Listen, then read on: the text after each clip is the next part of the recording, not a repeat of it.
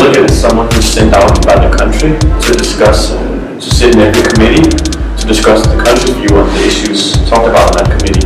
It is important for them within the committee to really represent their country's views and so that they are represented in the resolutions themselves.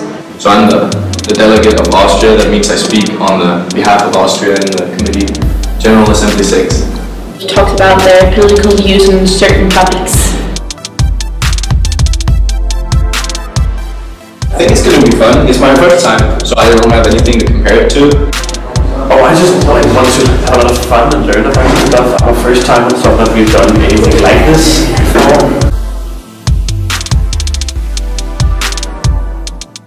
Influential, important, and hardworking. Productive, hungry, Yeah, she's hungry. Definitely um, loyal and Um, smart. good at problem problem solving.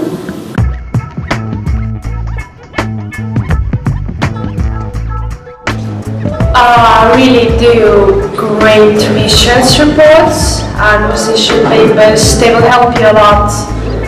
And just get to know where your country stands and try to represent it as good as you can.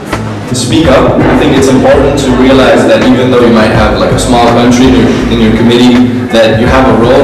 Try to form some alliance. You want to make it fun. So try to you know, spice things up a bit. Don't be so, don't be dull. Just to try it and don't be afraid to speak your mind. Don't be afraid of saying something wrong because we all make mistake, mistakes and you're only going to learn from them. So just try.